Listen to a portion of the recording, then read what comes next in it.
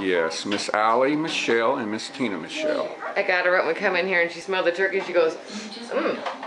And then she took another sniff and goes, mmm. you smell that turkey cooking.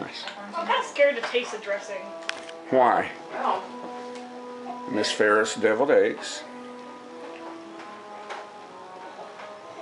Tina's special potatoes.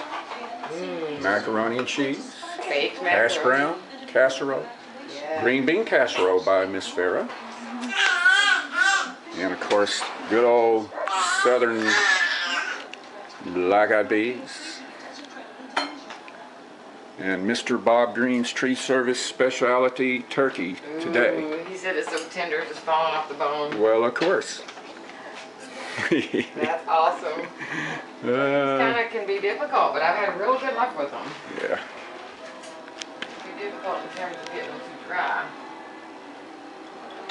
So far, so good on on all the turkeys. Knock on wood. We haven't tasted it yet.